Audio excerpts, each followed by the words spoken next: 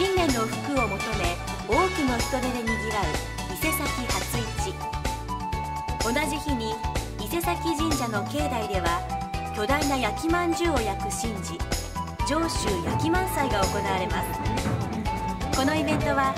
上州名物の焼きまんじゅうを広く県内外の人たちに知ってもらおうと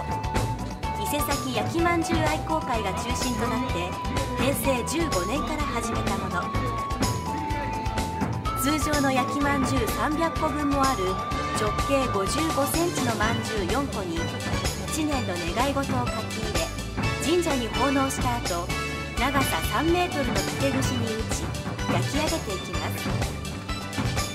巨大な焼きまんじゅうに味噌だれが塗られると